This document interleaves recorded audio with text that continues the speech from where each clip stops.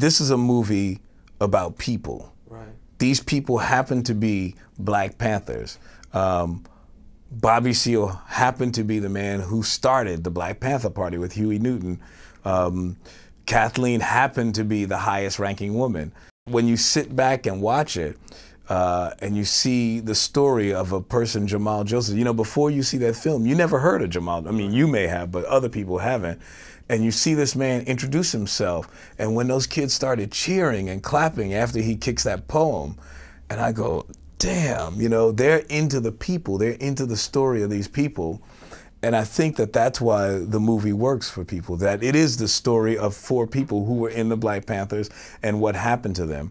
Something that people don't know about the Black Panther Party is that every person who was in the party, rank and file people, uh, all were given the opportunity to uh, to be in a leadership role. We used to have an assignment called Officer of the Day, and that gave uh, a rank and file member the ability to run the Black Panther Party office, uh, which meant that the officers, because you know it was a it was a military design type of organization, so the officers were all subordinate to the officer of the day. The person who was the officer of the day basically was running the business. I came here because.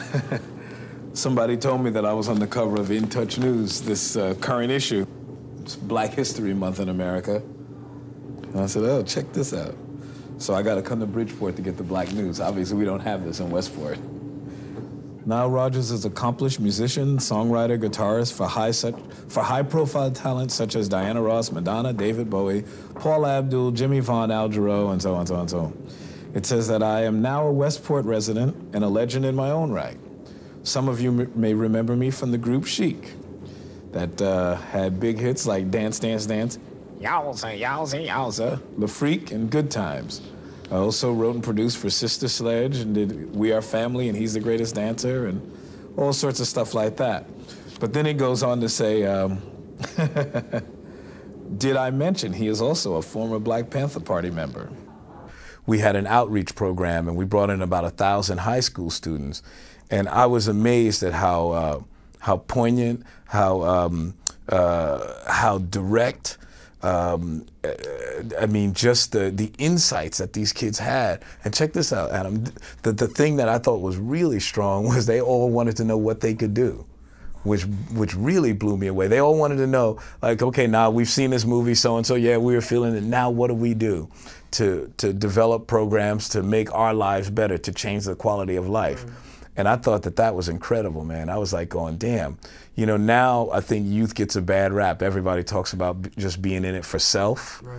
But these kids wanted to know what they could do for other people. In the 60s and the 70s, we had focus because we had a thread that tied us all together, man.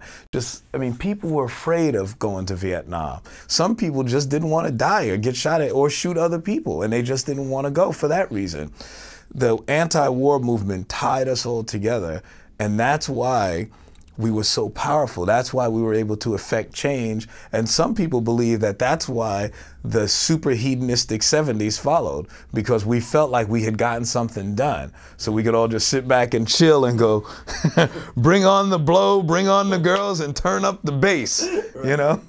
when we first started Chic, when hip hop first uh, started to to develop, and and they started making records, right? And and uh, you know, and, and Rappers Delight came on the scene, and they were like, you know, stealing our strings and shit. I, I had a problem with it, and then I realized, you know, somebody sat me down and they educated me, and they said, you know, no, when you went to school, everybody was taught music and art as part of the normal curriculum.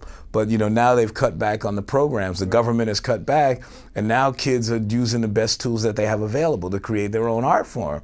And I started to back off and say, "Oh, no kidding!" And I started to develop another, another sense of appreciation for what people do with music. The first gig I did at the Apollo was with Aretha Franklin and I was nervous, right? Because I, I mean, I was, imagine this, I'm like the skinniest brother. I'm skinnier than that dude now, I'm, you know, 47, but then I was skinnier than that dude in the Black Crowes, right? So I'm this skinny dude, big green afro, right? I'm like, yeah, because I was a hippie, you know, big green afro, tight pants, you know, with your bulges sticking out and stuff, you know. And I walk up on stage, I'm not looking like any of the other brothers in this in this outfit. And Aretha, you know, she was a little bit feeling nice that night.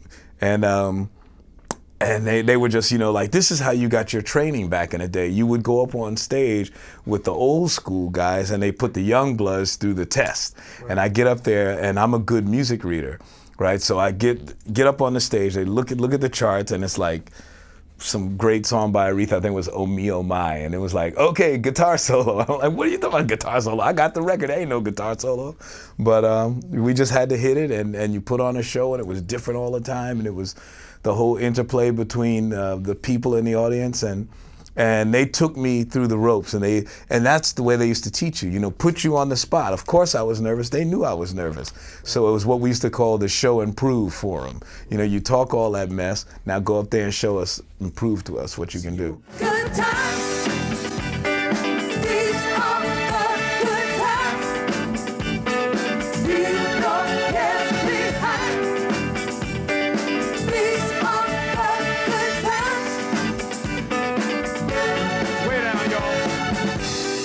Good times. time is right.